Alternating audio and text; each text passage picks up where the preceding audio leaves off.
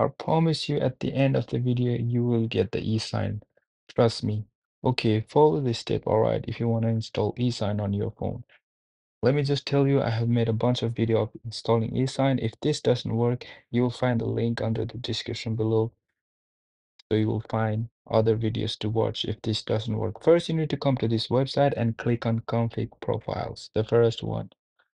Just click on config pro. Here you need to choose one of those, alright, doesn't matter. I'm gonna choose the first one and just click on allow.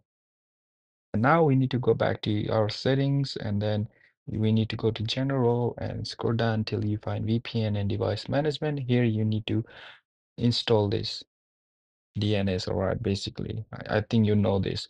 All right, and once you have done that, all you need to do is go back to the website again, and this time you need to click on portal, the second option. Here you need to click on any of those, doesn't matter.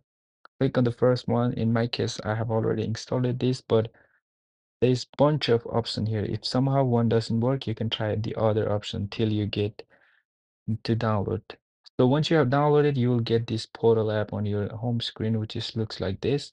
And all you need to do is open it. But if somehow it doesn't open, all you need to do is go to the settings and you need to allow this to open.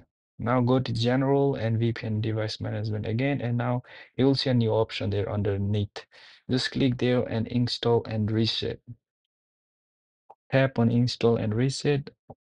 Once you have done that, it will interface like this, and then you will be able to like literally get in the app. Now you need to go to the down, down downloading option. You can see top right. Now you need to click on e-sign. You need to click to the e-sign and you pop up like this. Now you can choose any of those, doesn't matter which one you want to download through. And in my case, I'm I have already downloaded e-sign, but I will show you guys as well by downloading this one.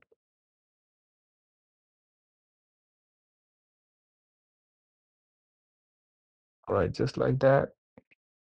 And if you need the certificate for the eSign app, all right, I'll leave the link under the description below. You watch that video and you can find certificate under the link on my bio or in the description, all right? And ju just like that, the eSign has been installed it successfully, but you need to have certificate to in order to download IPA files, as you guys know.